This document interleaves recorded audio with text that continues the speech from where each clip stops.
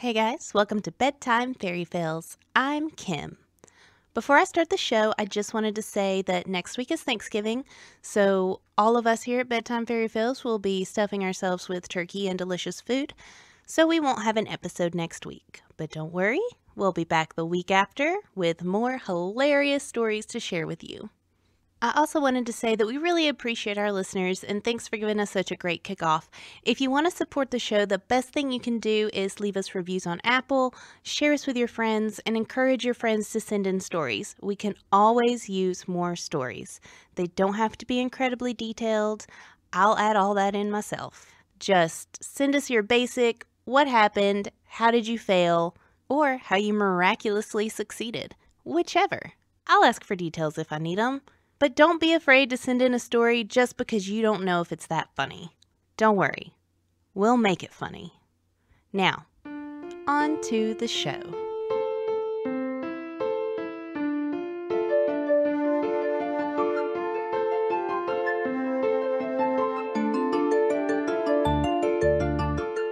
This first story tonight was sent in by Shava the Tooth Fairy.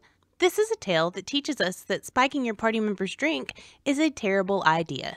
It can lead to things like hot shirtless men, courtrooms, and some really awkward mornings.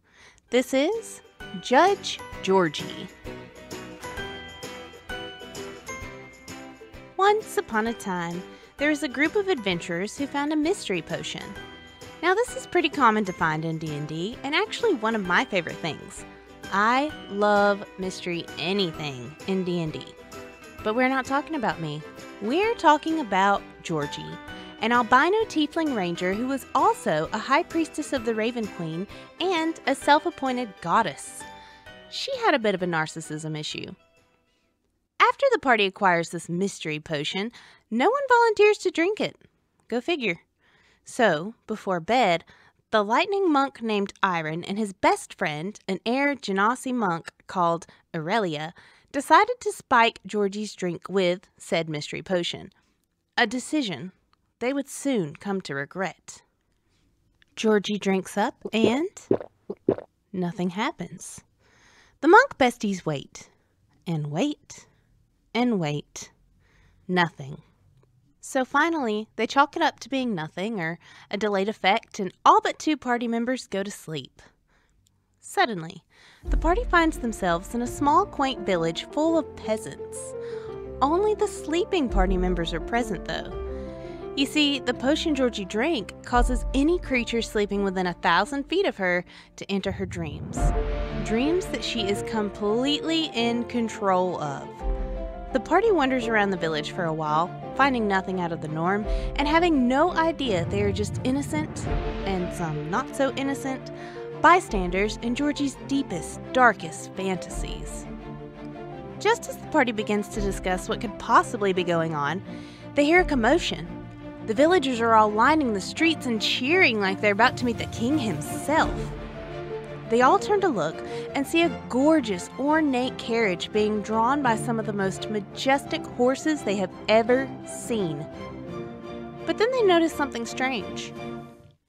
As the carriage passes the onlookers, they're changing. The once adoring fans are transforming before their very eyes into hot, muscly, shirtless men. Get them digits, girl. Baby, you a barbarian? Because your style is all the rage. What you doing after work? I'm gonna need some fire resistance because you hot, girl. carriage cost, girl? Hey, girl, You what's your rich AC? Because I'd like to hit that. Generic appropriate cat call. The group is even more confused now. They move in closer to the edge of the street, hoping to find some answers. They push through the Chippendale esque crowd to find out who's in the carriage. And they see, you guessed it, Georgie. The sorcerer called Aishka rolls his eyes. Of course it's Georgie. So full of herself. He grabs a handful of trash off the ground and throws it over the sexy crowd directly at her head. Georgie yells, Stop the carriage! She opens the door and stands over the crowd in her beautiful flowing gown and says, Who threw that? She scans the crowd and notices some of the party. which wasn't hard since they were the only people there who weren't hot, shirtless men.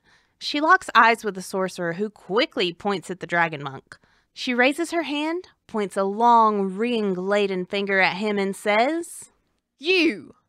You will stand trial for what you've done.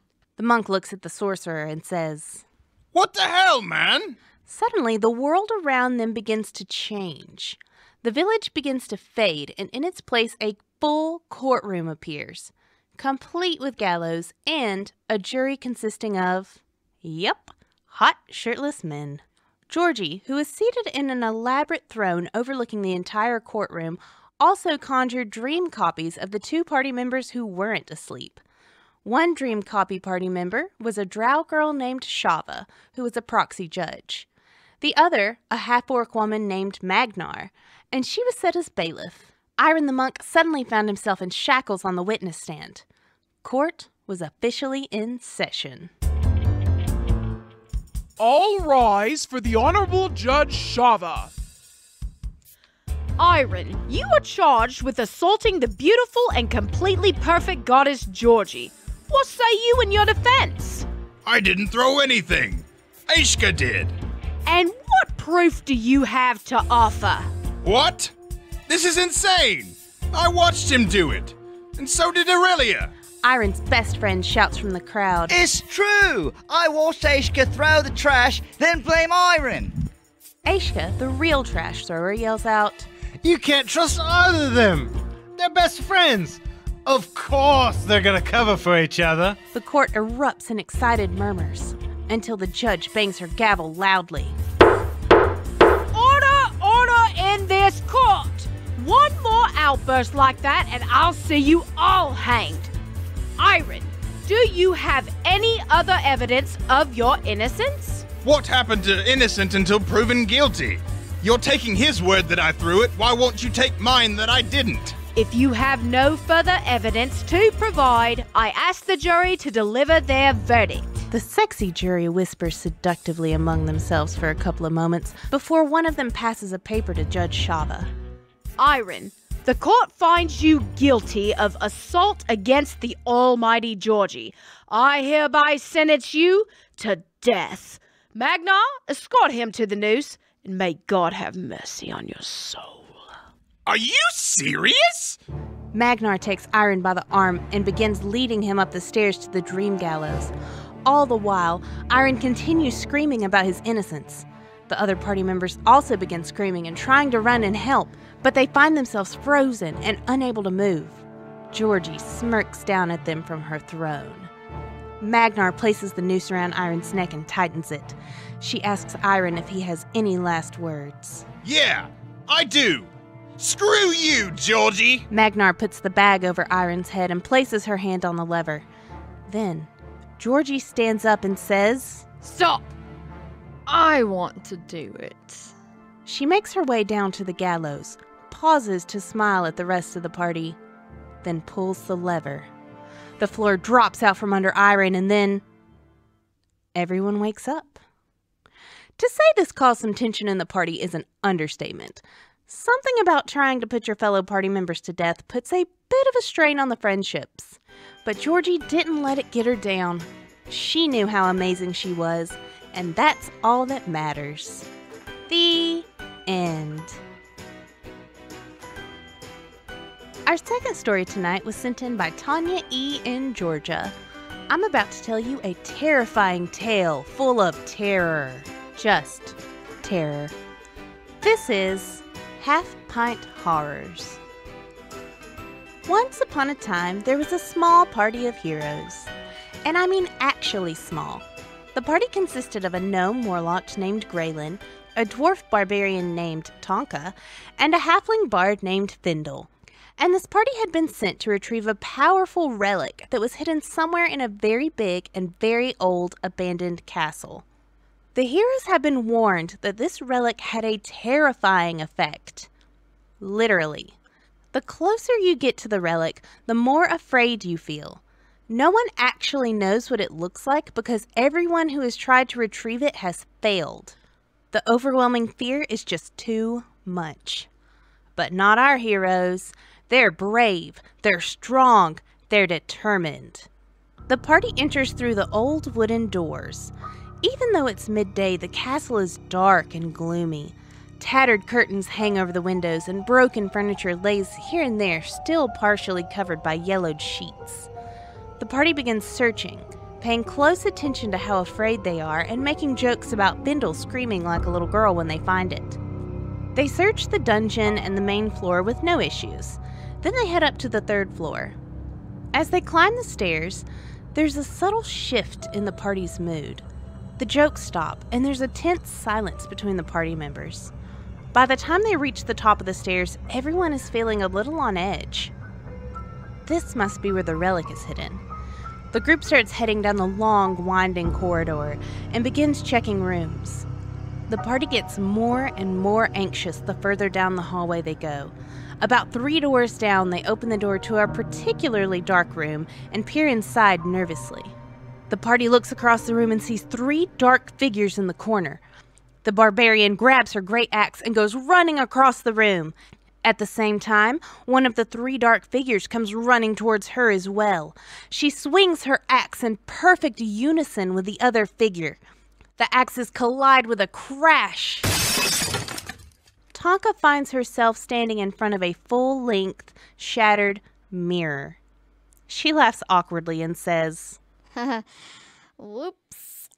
Guess we're getting closer. The heroes close the door on the broken mirror and continue down the hall. When they come to the next door, they all hesitate. No one moves to open it. Finally, Vindel the Bard says, Graylin, open it. The Warlock replies, Why me? Tonka chimes in with, What? Are you scared, Graylin? Relic getting to you? No. snaps Graylin. He takes a deep breath, opens the door, and peeks inside with one eye. The other two hold their breath in anticipation. Then, Graylin lets out a scream and slams the door. The other two jump back and ask him what he saw. It was the biggest rat I've ever seen. The other two laugh. Wow, Graylin. A rat? Laughs Tonka, Well, you're the one that attacked your own reflection, idiot. says the warlock. The party continues slowly down the hallway, peeking through keyholes and jumping at the sound of their echoing footsteps. Our once brave heroes are quickly becoming afraid of their own shadows. No one is laughing anymore, though. They all struggle to keep their breathing even as they discuss how terrifying the end tables are. Finally, they reach the end of the hallway. The party is literally shaking with terror now. Everyone is afraid to open the door. The party doesn't know how to proceed from here. So the bard takes it upon himself to do something.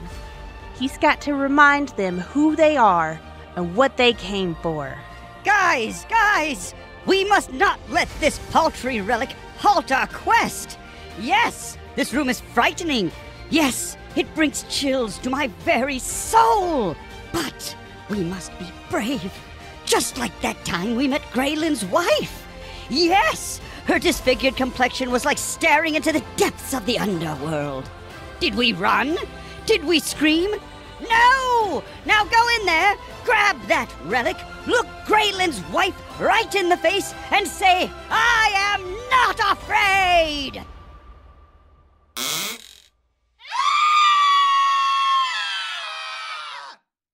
The party slams the door, runs back down the hall, down the stairs, and out the front door. And they never spoke of this again. The end. Thanks for listening. To submit a fail, email me at bedtimefairyfails at gmail.com or message me on Facebook. You can find me on Facebook and Instagram as Bedtime Fairy Fails and Twitter as BT Fairy Fails.